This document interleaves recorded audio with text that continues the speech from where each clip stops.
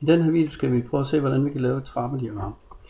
Øhm, og vi, men vi starter egentlig lige med at øh, lave vores data øh, klar til det. Øh, vi har øh, nogle observationer, som vi kalder X, og det vi har observeret, det er BMI øh, for nogle elever i et par klasser.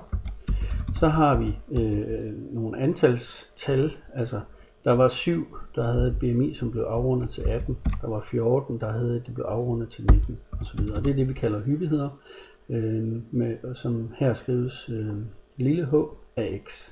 Så når x er 18, så er lille h af 18, så er det 7. Det er den måde, vi skal læse tabellen på. Så har vi det, der hedder kumuleret hyppighed, hvor vi øh, for eksempel for observationen 19 tager alle hyppighederne på 19 og lavere, altså det vil sige i det her tilfælde 7 og 14, lægger dem sammen, og så det er den kumulerede hyppighed ved observationen 19. Øh, og så har vi endelig frekvensen. Frekvensen det er hyppigheden i procent, og så har vi den kumulerede frekvens, som er øh, for eksempel hvis vi var ved observation nummer 21, så var den kumulerede frekvens øh, summen af alle frekvenser fra 21 og ned efter. Så lad os prøve at starte med det. Øhm, den kumulerede for den første observation, det er bare den første observation, så der skriver jeg lige med C3. Den kumulerede for den næste, det er jo så den aktuelle C4 4 plus det, som vi havde før. Og det var så D3. Øh, og på den måde, så kan jeg, nu har jeg en formel, jeg kan trække, så tager den altid den aktuelle øh, hyppighed ud fra det aktuelle BMI-tal, og så lægger den øh, tallet til øh, lige før. Det kan vi se på her. Så nu tager jeg og trækker den her formel ned, og så skulle jeg gerne ind med øh, 50, fordi der er 50 elever i alt, som blev observeret der. Vi kan også lige kontrollere, at der faktisk var 50. Øh, øh, når vi gerne vil lægge sådan en søjle af data sammen, så kan vi stille os lige under den, og så kan vi gå op og trykke på sumtegnet, øh, og så vælger den automatisk øh, det område, der er lige ovenover, hvor der er tal i. Og det var 50, så det passer. Det behøver vi ikke det tal mere, det står også der. Så skal vi have øh, hyppighederne i frekvens, og det vil sige, at den første øh, frekvens, den beregnes som 7 divideret med det totale antal, og det har vi her. Øhm, Lige om lidt, så vil jeg gerne trække den her formel. Men hvis jeg trækker, så øh, ligger den øh, 1 til rækkerne, altså 7-tallet, hver gang jeg trækker den nedad. Det skal den ikke. Øh, D7 skal den beholde fast, fordi det er her øh, det totale antal elever står. Øh, på Windows kan man trykke på F4, og ellers så kan man skrive dollartegn øh, foran D'et og dollartegn foran 7-tallet, så er vi sikre på, at vi altid tager fra den her celle. Jeg trækker, jeg taster enter, og så kan jeg så trække den her formel ned nu, og så virker den også. Godt, og så laver jeg de kumulerede. Det var den her til at begynde med. Herhen var det den aktuelle plus alle de foregående. Og nu kan jeg trække formlen ned. Sådan der. Og det summerer til 1. Og det gør det samme som det her, det skulle summere til. Det kan vi lige til. Det gør det også. Så man kan sige, fordi alle observationer er på 22 eller lavere, jamen så er den kumulerede sandsynlighed 100% for at få en observation på 22 eller lavere. Godt. Øhm. Ja.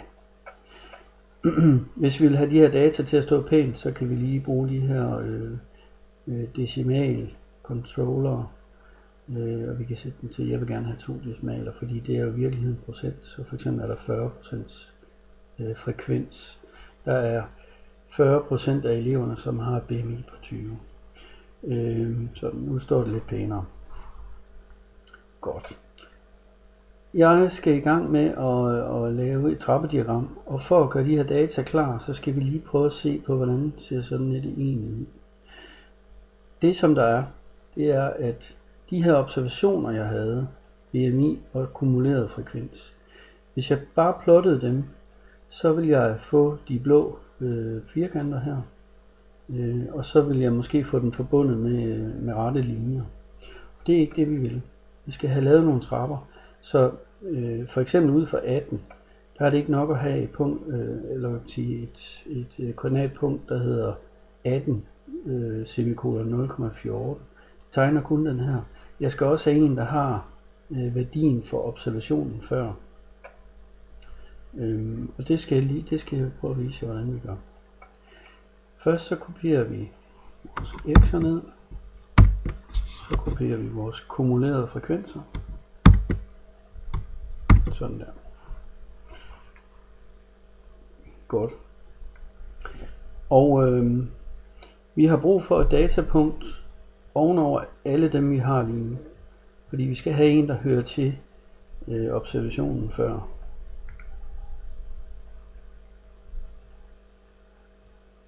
Så jeg starter lige med at indsætte en tom række imellem hver. Og så kan vi jo sige, at øh, når vi kommer, lige netop når vi kommer under BMI på 19, så skal vi ned på den værdi, der hedder 18. Fordi hvis vi læser beskrivelsen af, hvordan i trappetrin det bliver lavet, så skal det gå fra en observation til den næste, og det er placeret i en højde, som svarer til den første observations summerede frekvens. Det vil sige, det trappetrin mellem 18 og 19, det skal have øh, højden, der svarer til øh, den første observations. Og det vil sige, at jeg skal faktisk have lavet et punkt, der hedder 0,14. Læg mærke til, at jeg tager øh, øh, punktet under, og, men jeg tager værdien over, for at få det her til at virke. Nu skriver jeg lige op, så jeg kan huske det.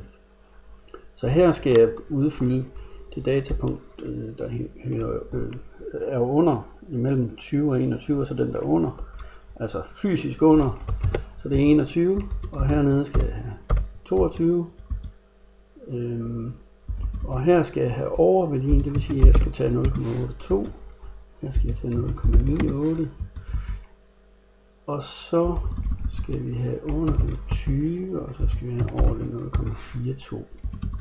Det der er vigtigt nu, det er, at jeg har to af hver observation. Og vi kan se, at der mangler en på 18, så vi skal lige have en her. Og lige så snart vi kommer under observationen på 18, så er den kumulerede frekvens 0, fordi vi har ikke nogen observationer dernede. Det vil sige, øh, den kumulerede øh, frekvens for BMI på 17 eller lavere, den er 0, derfor skal der stå 0 der. Så har vi også en, øh, øh, en, en typisk ting, man gør, det er, før den første observation og ud for den sidste observation, der afsætter vi en halv linje. Okay, så vi sætter lige en, endnu et mellemrum ind der, og der er plads hernede. For at det bliver en halv linje, så skal det have et halvt hop. Og et hop, det er fra 18 til 19, det vil sige, det er 1. Det vil sige, det hop her, det skal være 17,5. Sådan der og det skal så have værdien 0. Og ovenover, der skal vi have et halvt hop, det er 22,5, det, og det bliver 1.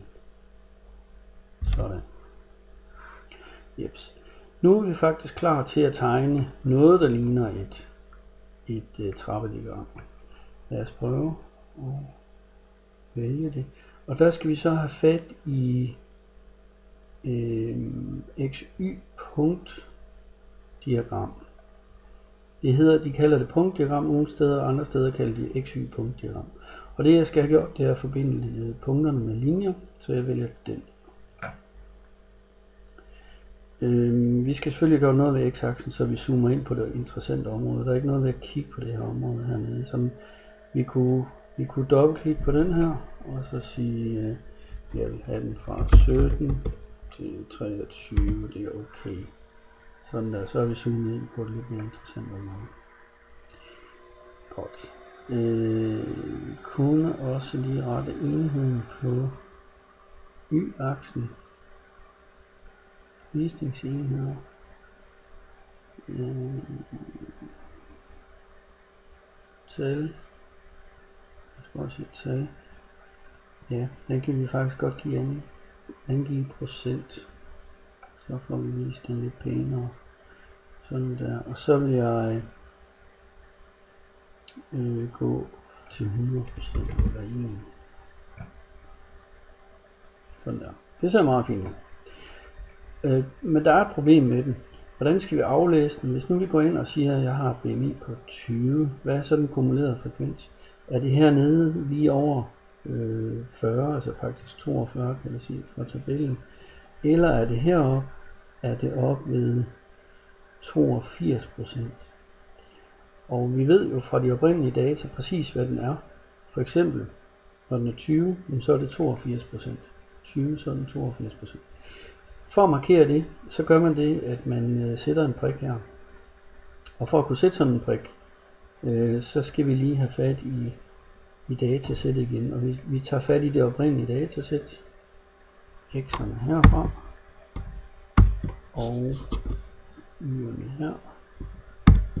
Øh, og så vil vi have tilføjet det til vores plot.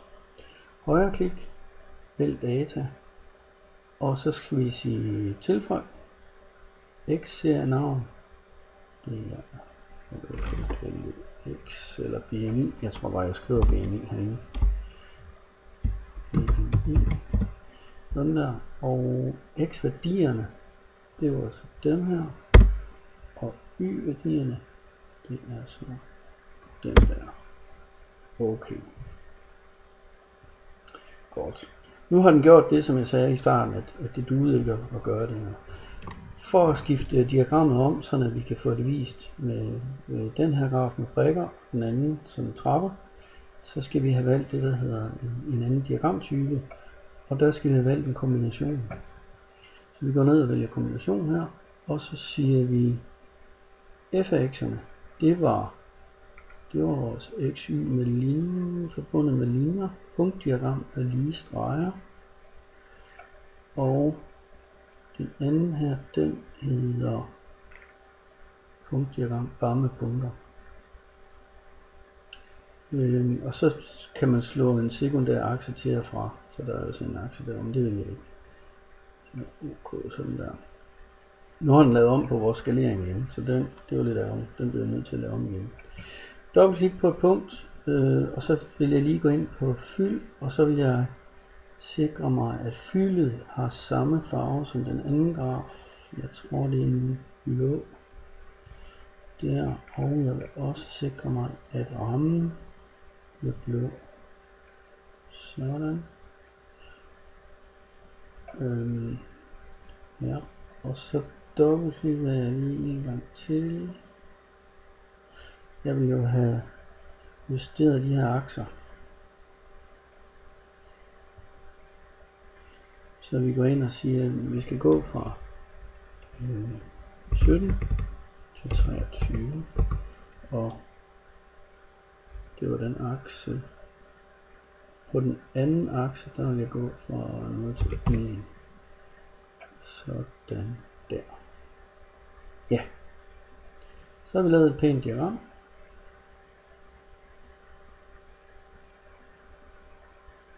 Mm.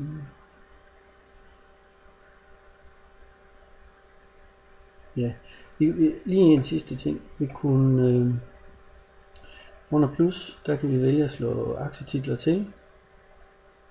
Og de der linjer, der vil jeg nok også have vist nogle flere. Jeg prøver lige at trække hen, så I kan finde med, hvad der sker. Under plus, der siger vi gitter linjer, så herude på den der, så får jeg mulighed for at slå nogle flere til, så man kan lave en bedre aflæsning, hvis man skal bruge grafen. Øh, sådan der aksetitlen. Øh, op ad y-aksen, der har vi kumuleret frekvens. Og på vandretakse har vi øh, BMI, altså vores observation X. Ja.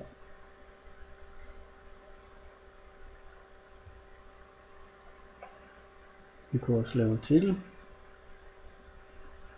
diagram til, slår lige den til, BMI, trappediagram.